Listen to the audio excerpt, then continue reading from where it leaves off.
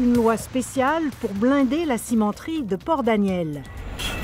Comment décoder la stratégie de Québec? La solution, elle était gagnante pour eux comme pour nous. Elle a été humiliée, elle s'est sentie violée. Fouille à nu dans une polyvalente. La direction a le droit légalement. Les règles laissent-elles trop de place à l'interprétation?